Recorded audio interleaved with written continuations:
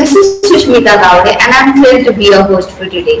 VJTI was established in the year 1887 and is upholding its proud legacy of over a century filled with brilliance and educational prowess. Furthermore, it has thrived in nurturing the brightest minds of the society. Technovanza has always been the prime platform where the flame of expertise has been meritoriously passed on to light more torches.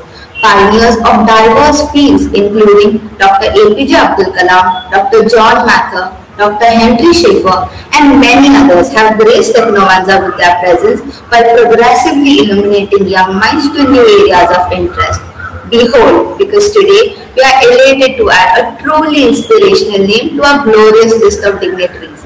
Our guest today is not only a brilliant biomedical engineer, but also a notable innovator who has opened numerous new fields of research and inspired several generations of students with his creativity and dedication.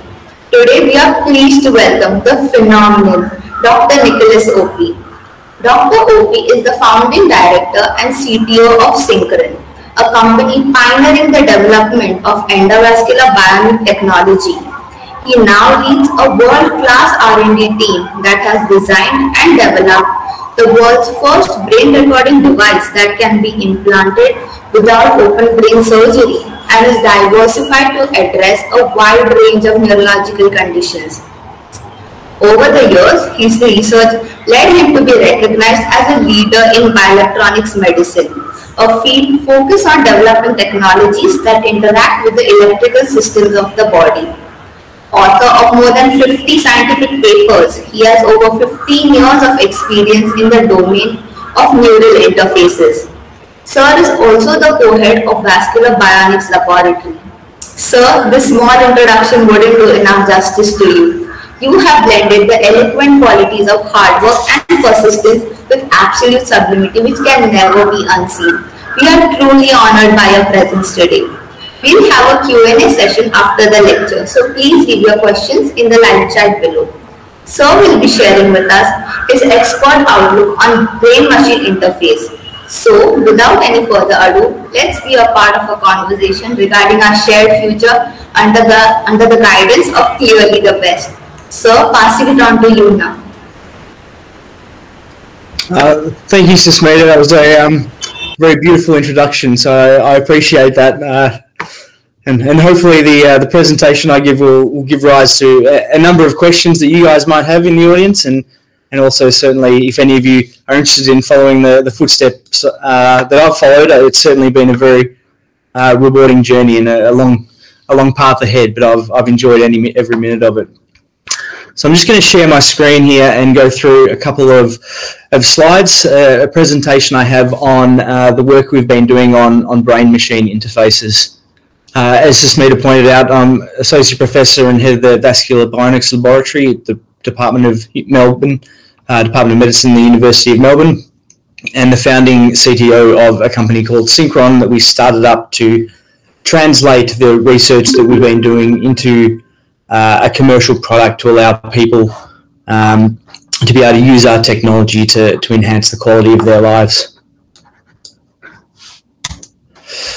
So when we started thinking about uh, brain-machine interfaces, one thing that you need to think about is paralysis. Uh, and I like this slide because here, as everyone would know, is, is Superman. Um, but trauma and disease, uh, a couple of reasons that you can turn Superman into into this man, which is Christopher Reeves. He had a horrific accident a number of years back, uh, and he lost the ability to, to walk. And this is you know, particularly prevalent in our in our society. In in the US, there's about 1.2 million people with, with spinal cord injury you know, 12,000 cases, uh, new cases every year. Uh, but really what sticks out to me is that majority of these, 55%, are, are young, are young individuals and nearly all of them are, are male. Um, there's obviously no cure to spinal cord injury, and, and certainly this is, this is something that can have obviously permanent but very long-lasting impacts on, on the lives of those young individuals uh, and, and their families and carers. So when we started out making brain machine interfaces, uh, we really wanted to help those that that through through accident or, or, or trauma or otherwise were, were unable to to walk. Paralysis has, has many different forms. Uh, obviously, there's spinal cord injury, but it can also be paralyzed from uh, different conditions such as amputations or, or loss of limb, or, or, degenerative conditions such as uh, motor neuron disease or ALS or, or, or, stroke and, and other, other conditions that might occur throughout your life. Uh, in Australia, there's about 60,000 and, and you know, about 6 million Americans. Uh, a study uh, printed a few years ago suggested that you know, by 2025, which, which isn't too far away now, uh, there'll be about 50 million people in developed economies that could benefit from some sort of brain machine interface, a technology that would allow them to uh, communicate or, or use prosthetic limbs and arms. Uh, for, for me, my definition of a brain machine interface is a device that can translate neural information, can translate your thoughts into commands that are capable of controlling external software or hardware, such as a computer, a robotic limb, uh, vehicles such as wheelchairs and exoskeletons, or really any way that technology can allow people to use their minds directly to interact with with their um, their environment. Here's a video that uh, was a few years ago now. This is a lady who had a skiing accident uh, and she severed her spinal cord and was unable to, to walk after that. Uh, what you can see here is, is you know, for the first time, she is using what's called an exoskeleton uh, to, to stand and, and, to walk around the, the room. Her spinal cord is still damaged. It will, it will always be damaged, but she is now able to, to use this technology uh, to move around as, as you can see on in the video. Uh, one of the, you know, this is amazing technology, absolutely. But we want to go a step further than this. What you can see here is she needs to use her arms to hold um, hold the sticks to allow her to, to balance and to walk. And, and, certainly, you know, she's carrying quite a heavy heavy load. What we would like to do is find a way where we can interact or interface directly with the brain to allow the brain to control external uh, equipment. And that could be, like I was saying, computers or laptops, prosthetic arms, uh, vehicles, your your home environment, uh, and obviously exoskeletons like she like she was using. If there were if there's a way that the brain can be used to control these devices, then then that's where we're sort of trying to head. Uh, a number of years ago, a, uh, you know, this graph was demonstrated by uh, you know, Jack Judy, a professor in University uh, of Florida, uh, working with DARPA at the time that was looking at the neural information, so how much uh, how much information you can extract from the brain as a function of how long the, the, participant has been using the device. In the blue line down the bottom, you can see that you know, there's quite a quite a steady uh, you know, amount of information can be gained after a, after a training period that can last for their life. But the amount of neural information, how high it is on the uh, on the axis is not is not that great. And as you can see in the image on the right, these uh, surface peripheral electrodes are placed on on the scalp. Um, daily applications required. Uh, the the skull itself blocks some of the signals that, that you want to try and get from the brain, and at the moment, it's it's really only binary information that that can be extracted. A, a yes no sort of signal from within the brain. There is no surgery required, which is which is fantastic. But to date, these devices just don't have the ability to extract enough information to control sophisticated devices like prosthetic limbs. In the red, you can see what happens if you get under the skull. So again, there's a period of training and you, you get more information. But after a period of time, the brain starts to reject the electrodes that are, that are implanted into the brain itself and the ability of these decreases. Now, certainly a lot of work has gone into um, to keep this red line quite high, uh, but as you'll see there, and there are some very good examples of this technology being used by people with paralysis to control computers, and I'll, I'll show you those in a minute. But certainly there has been a concern that if you if you place devices in the brain itself, then then the brain might have a response that would reject these and stop them working for the lifetime of the patient. Here's an example of what's called a subdural grid array. What happens is you remove a large portion of the skull, you put some of these electrodes directly onto the brain surface, and then as you can see in this this image that was uh, this video that was taken back in 2013, uh, which I'll play again, uh, the man who obviously cannot move his arms and cannot move his legs was able to control this robotic arm after even only after a day of, of training and using it, uh, which is really quite quite amazing. Obviously, there are there are limitations of, of this sort of technology.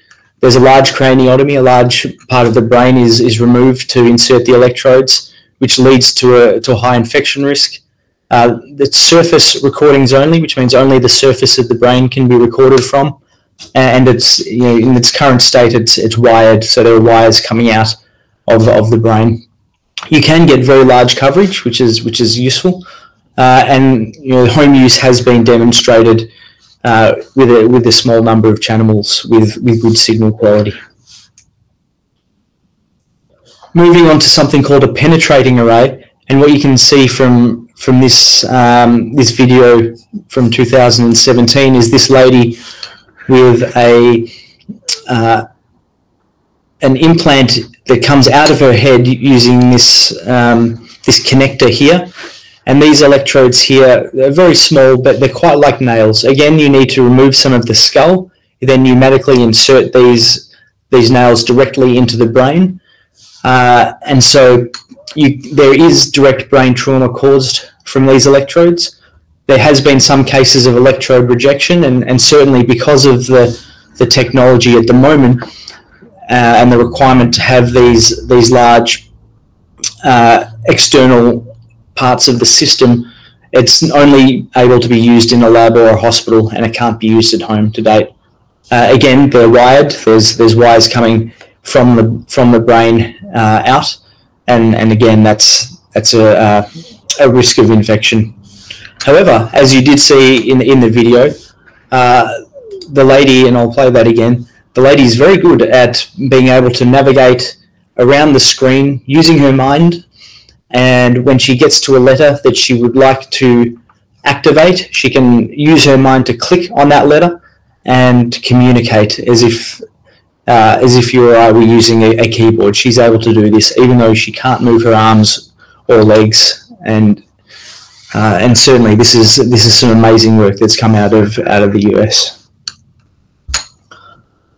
what we wanted to do was come up with a way that we could achieve the same uh, efficacy. We could allow people with paralysis to control communication systems and software, uh, such as the ones you just saw, but do it in a way that didn't require invasive surgery. Uh, we didn't want to have any of the skull removal. We didn't want to have electrodes that penetrated into the brain directly but we did want to get under the skull. That was important to keep the signal quality high. Uh, we wanted to make sure that this system could be used independently and at home by the by the person, so they weren't restricted to, to a laboratory or, or a hospital. Uh, and we want to have obviously good signal quality and to allow them to go home having a wireless system. What we've decided to do, uh, and we've been working on this for a number of years now, is design a device that can be implanted to the brain underneath the skull without brain surgery by using blood vessels as the way to get there. The stentrode is inserted via a catheter into the jugular vein and maneuvered into the brain without the need for open brain surgery. The sensors are built onto a self-expanding stent that engages into the wall of the vein and which is designed to maintain blood flow. Over time, cells may gradually grow over the sensors and incorporate them into the tissue. The sensors are placed immediately adjacent to the control center in the brain, known as the motor cortex. The patient may be paralyzed, but their motor control center can still be activated simply by thinking. The system is designed to transmit these brain signals out of the brain, out of the vein, and into a unit implanted under the skin in the chest. This unit is programmed to pick up brain signals continuously, and when connected to an external receiver, may send them to a computer. The command center in the brain is now directly connected to software, and the patient would attempt to train their brain for direct operating system control by thinking. Direct brain control of a mouse, a keyboard, exoskeletons, and even vehicles may become possible. Technology to restore independence.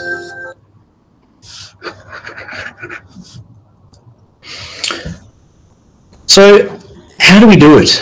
Uh, and for the next few slides, I'm going to take you through our process of how we were able to design a device and, and develop this technology and why um, we had confidence before we started our human trials that this would, would, be, a, would be a good way to address the problem of, of brain machine interfaces.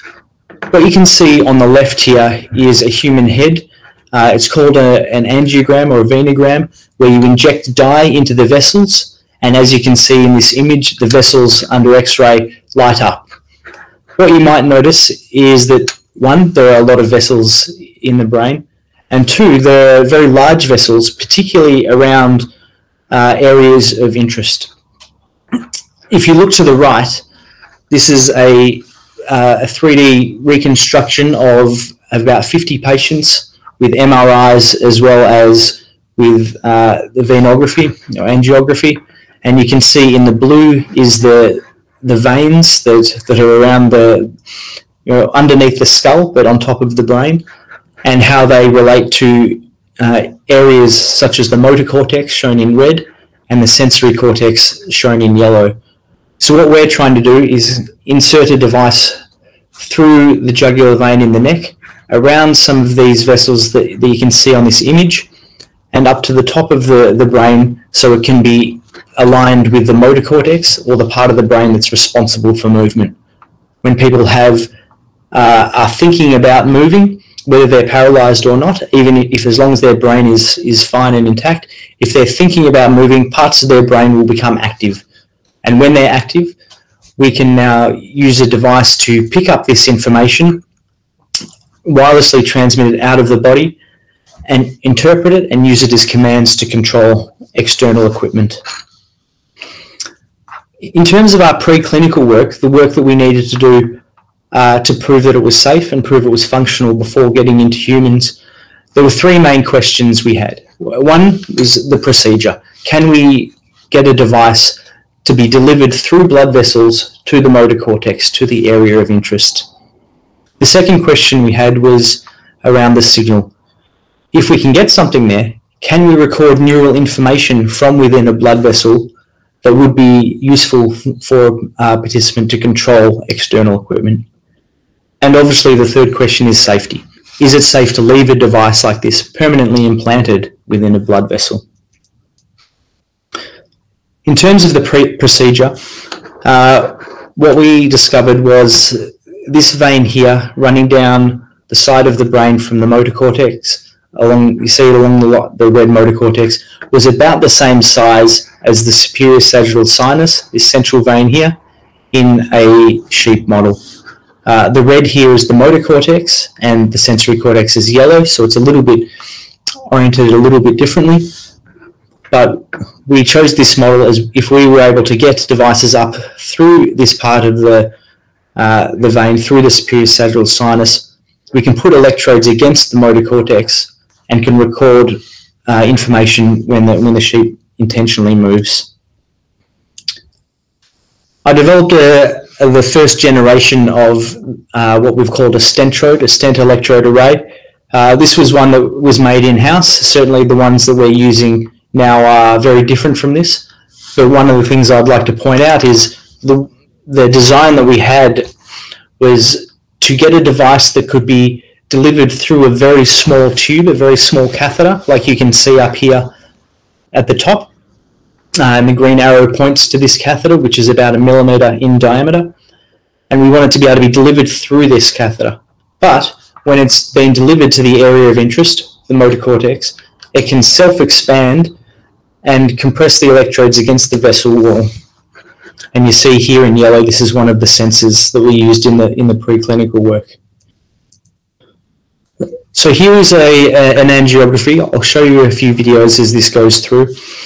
Uh, and this is how we would, uh, one method of getting a stentrode into the part of the brain, the motor cortex, in a sheep model. We start with a, a micro wire, which is a very small wire, inside a micro catheter, which is inside a, a larger catheter, and again inside a larger catheter. And as you'll see, uh, it's just navigating, pushing one on top of the other through each other as we go through the internal jugular vein in the in the side, through the sigmoid sinus, transverse sinus, and then through to the superior sagittal sinus, where the motor cortex is. So as you can see here, you're advancing the micro wire, bringing the micro catheters, the delivery catheter and the sheep up around along with it, and then you keep pushing through the the vessel uh, to get into the skull as it is now and near the brain. When we're in that area, we can do a, an angiography run, a contrast run. So you inject this dye into the veins, and the veins uh, after X-ray will light up, and then you can see where you are, and you'll be able to know where you want to go. And so, obviously, for us, the motor cortex is around this this portion here, uh, and so we know where to where to deploy the the stentrode.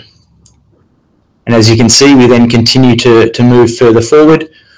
We take all the wires out, and really we just push the stentrode through the catheter. That you can see we're now pulling back, and the stentrode is there, uh, and it's been deployed within the superior sagittal sinus in the in the sheep without brain surgery as you can see here, so there's the stentrode there. This dot here is the start of one of the catheters that was used to push the, the device through, the one millimeter catheter. And here again is a larger catheter that was used to push this one through. The procedure itself is, is very quick. Uh, certainly this was, this was a procedure uh, that I did. I'm, I'm not trained in, in this medically, so I certainly wouldn't do this in, in, in people. Uh, but I have seen the clinicians do this and uh, and they are very fast and they're very good at it. And this is a sort of procedure that is what's called a day procedure. Someone can come into the hospital, have this done, and then they could leave the same day. Uh, this is a common procedure uh, used for removing blood clots. If you have a blood clot in one of your vessels, you put up a series of micro wires and catheters through the blood vessel to, to grab the clot and, and remove it. We're using the same procedure. The only difference is uh, instead of removing all the devices afterwards, we're leaving one of the devices in, the stentrode, the recording device, that can then be used to pick up brain activity. Uh, and over here you can just see the, the difference between a sheep vessel, which is about three millimeters, and, and, that, of a, and that of a human. So the next question is, does it work? Uh, and we were able to show that the stentrode does does work. You can see here, uh, this is a, uh, the sheep brain. These dots here are where the sensors in this particular animal were located. Uh, that's the same as these sensors on the on the image labeled H. And what you can see is that we were able to get neural information from these different electrodes, and that the neural information from these electrodes was different to each other.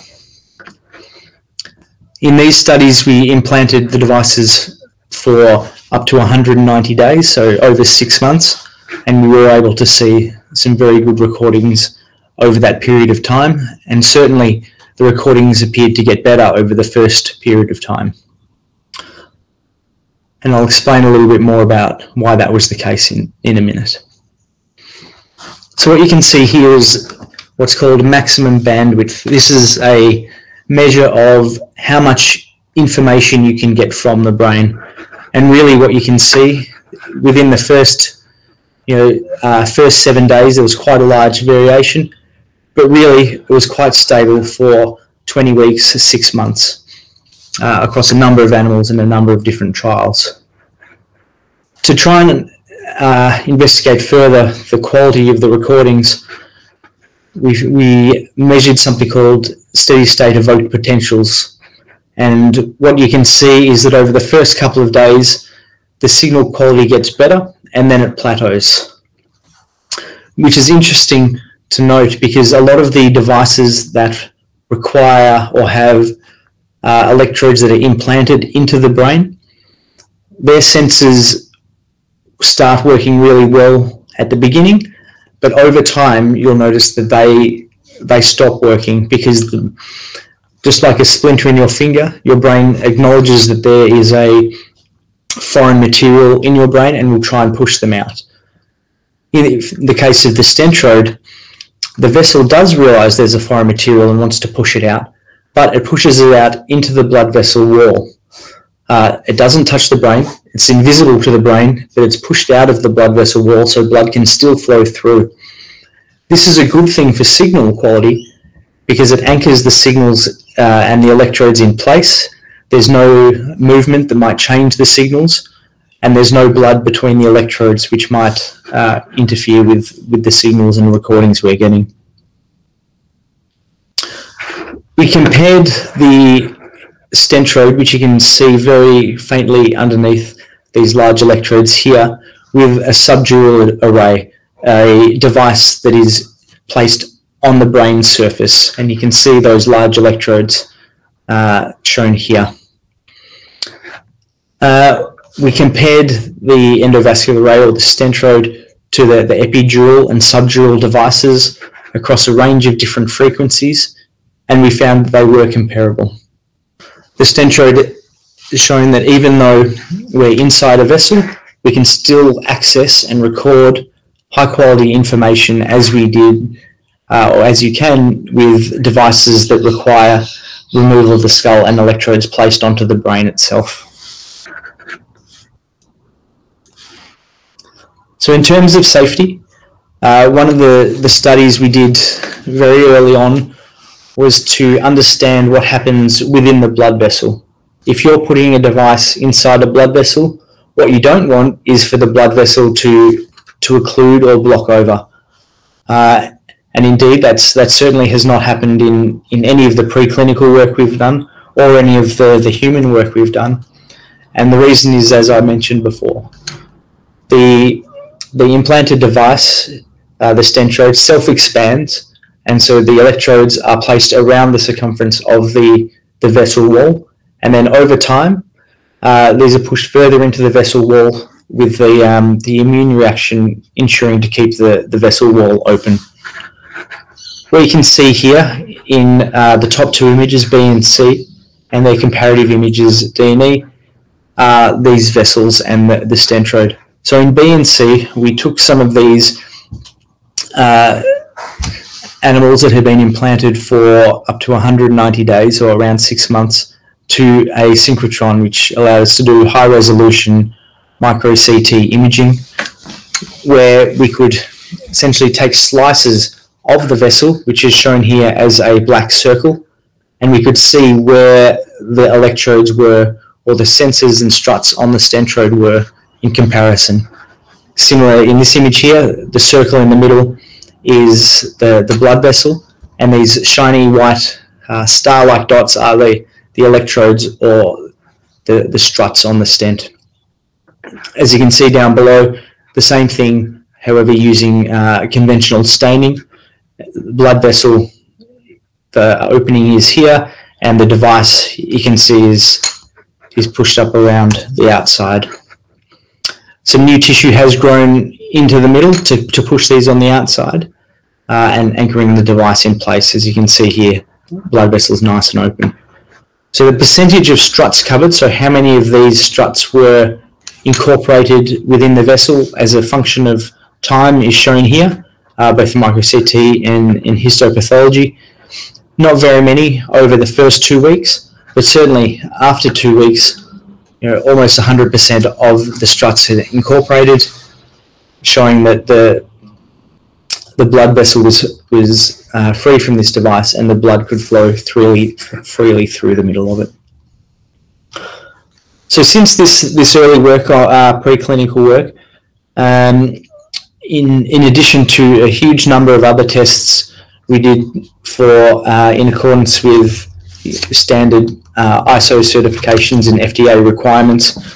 We were fortunate to, to receive approval to do a first in human trial in Australia for this trial, we uh, we selected to implant uh, men and women with the stentrode if they had motor neurone disease. So this is a disease that is uh, it's it's not an accident. It's a uh, or, or, trauma.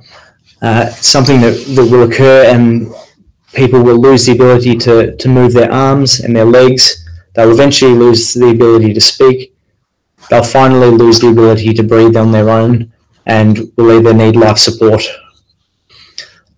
For, for these men women, uh, what they said to us is that they really wanted to be able to communicate. They really wanted to be able to write letters to loved ones, write messages and text messages to their, their carers to tell them that they were okay. Uh, and so for us in our first trial, we implanted the, the stentrode in these in these participants. Same procedure, using the device up and into the, the motor cortex. We would then, uh, before the procedure, we would do functional imaging, functional MRI that would allow us to identify which parts of the brain uh, were, were the most active. We could then use that information to decide where to deploy the stentrode, where to, where we needed the sensors to be, so we could record the activity that they would be able to produce when they were thinking about performing an intentional movement. And so we implanted the device there. Then after uh, a period of time, we were able to get these these people to perform a click action. So use their mind to essentially press the, the mouse button or press a key on a keyboard. One thing that was, was interesting to, to me was that the, the first participant, it took uh, quite a long time, it took about 40 days before they were able to use the system at home independently, so without researchers present, uh, to control this, this click action. And uh, largely that was because there was a lot of information that we needed to understand on how and what these brain signals were, how to interpret them, and how to use them effectively to control a switch. The next patient took about seven days, and the third and fourth patients they were able to control this this click switch uh, on the on the day that, that, the trial started. So as you can see here, uh, we have four patients implanted. The first one was implanted in August uh, 2019, so more than two years ago, and all of the patients achieved multi-click functionality, which means they could control multiple clicks and not only use different electrodes to control different clicks, but they were able to use the one electrode or the one sensor to control multiple clicks. They were able to use this independently and at home, which is very, very important uh, for communication online shopping, financial management, uh, control of smart homes, and other um, activities of daily living, activities that are taken for granted by uh, by URI, uh, activities that you know, have a big impact on their lives that we were able to um, help them with by taking their intentional thoughts out of their brain and connecting them to a computer directly. Uh, before I play the, the video, what you can see here is in blue the skull and these dots, these little blue dots underneath, uh, the, the stentrode within this white circle, which is the blood vessel, showing that the electrode, the stentrode did expand in, in the blood vessel. And then this reconstructed image here showing in blue, again, the vessel, in, in red, the motor cortex, the areas we were trying to, to access, and the electrodes in green around around these motor cortex. So this uh, image that I'm going to show you is, is of one of our participants uh, texting one of their caregivers.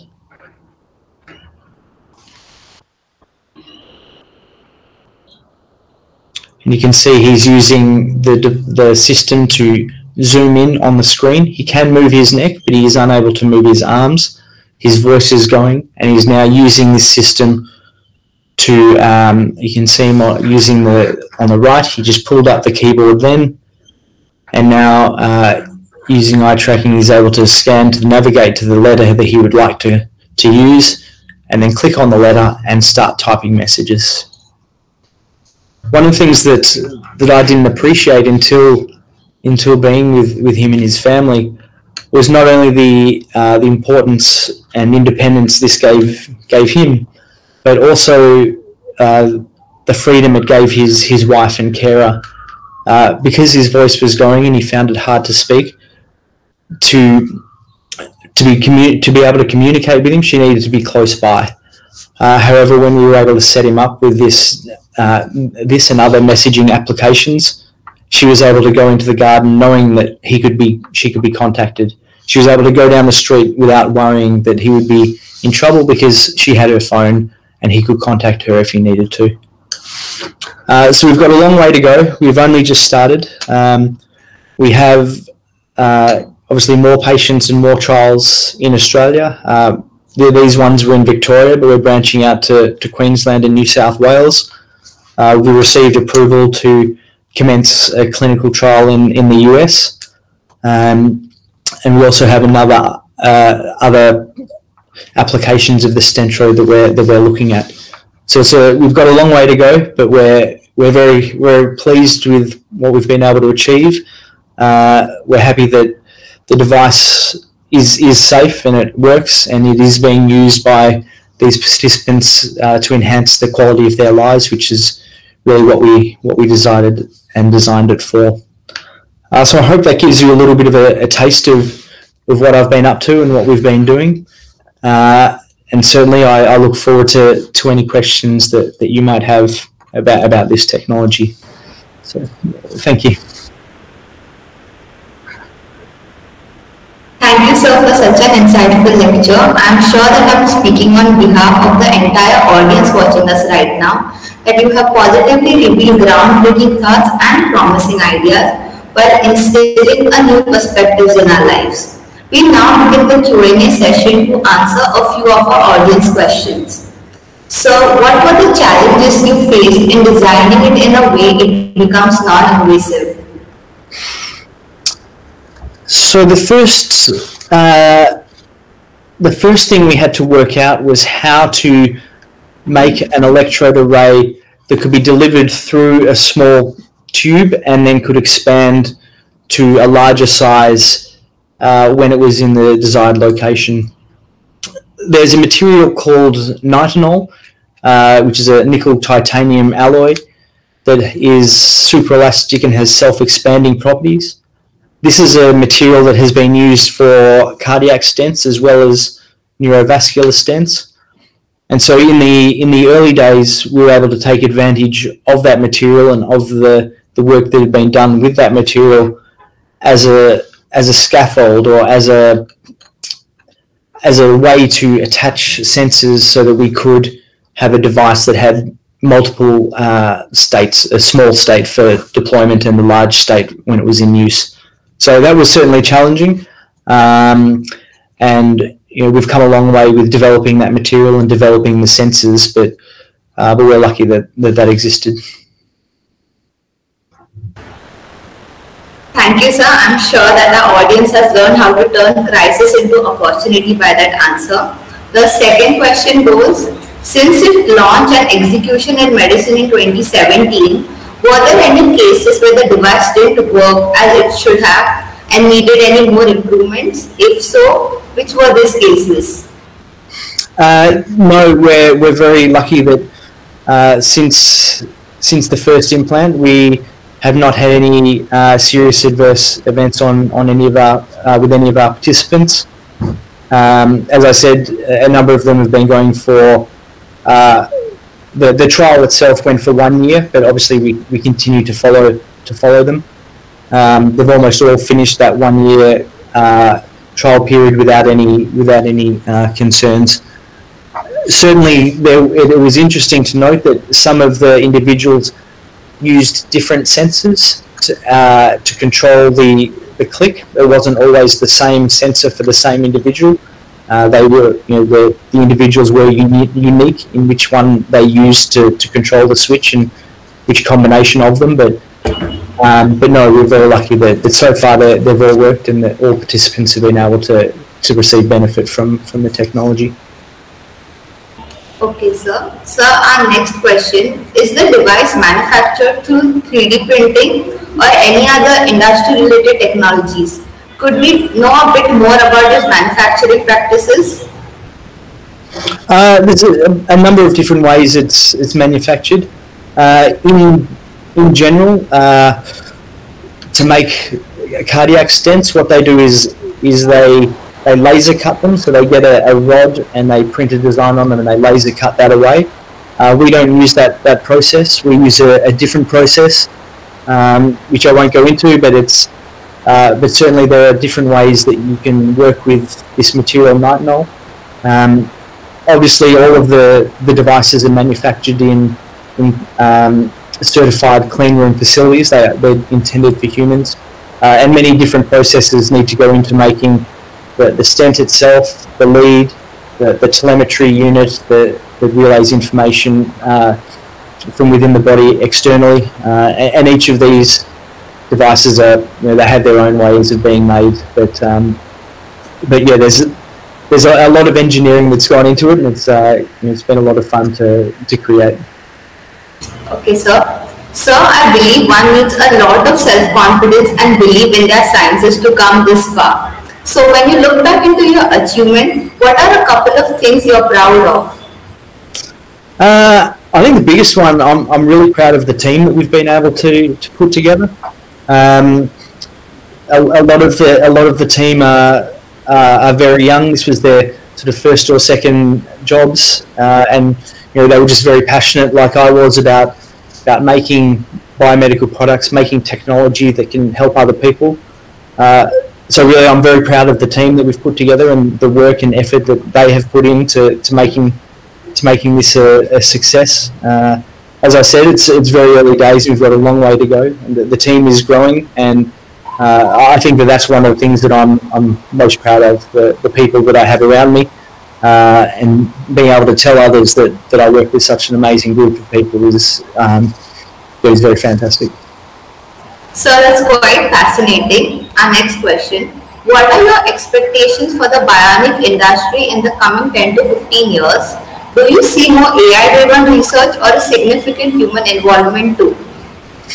Uh, I, I, think it's um, it's going to be very interesting and fascinating what happens in the next uh, in the next decade or so.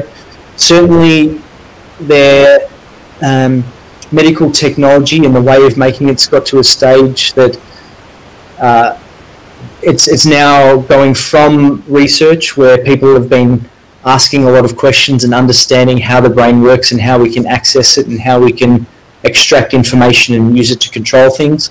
There's a lot of um, uh, industry excitement around this area, people wanting to make devices that, that go the step further from research into, into homes and into clinical practice. Uh, and I think there's going to be a huge number of technologies that come out, both from robotics, uh, you know, whether it be robotic arms or legs, um, other ways to interface with the brain. You obviously have cochlear implants. There are there are bionic eyes. There are ways that you can put stimulation back into the brain to help people with epilepsy or, or depression.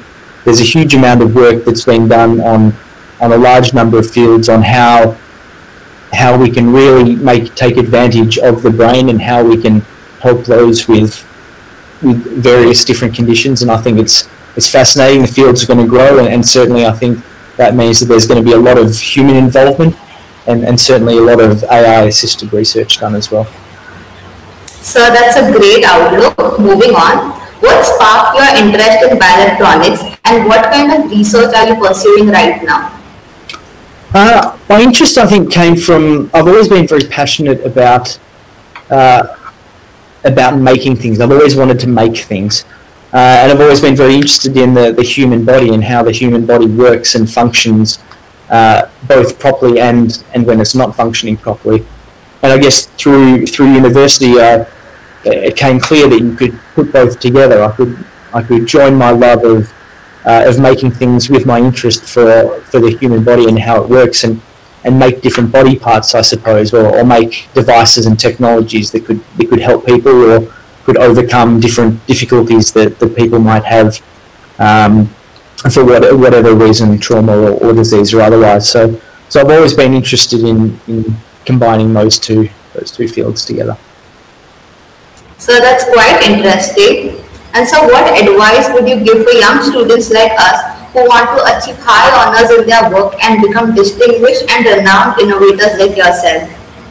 Uh, I, I, really think you just need to find something that you enjoy, uh, find something that you you want to work on. It, it makes and surround yourself by, by people you want to work with. Um, I know I make it sound easy, but if, if you can find something that you're passionate about, and it doesn't really matter what it is, if you're passionate about it and you want to get up in the morning to do that, uh, you will have a lot of enthusiasm, you'll have a lot of excitement, you'll, you'll want to go further because you're interested in it. And if you can do that, then you'll, you'll find people who are the same as you, who share the same passions as you do. Uh, and if you're lucky, you'll be able to find a team where you can all work together on the same problems. But I think my biggest piece of advice was um, don't be concerned about what, if what you're interested in is not the same as anyone else. Um, you, you, need to really true to yourself and, and find what you want to do and, and really figure out how you can how you can turn that into a career. So that's very inspiring and we are truly honored by your presence today. It was indeed an impactful session. Also, thank you to our wonderful audience for tuning in. We hope you all enjoyed the session. I'm Sushmita Gowde signing off. Until next time, this is Technovanza Vijay Thank you. Thank you, sir.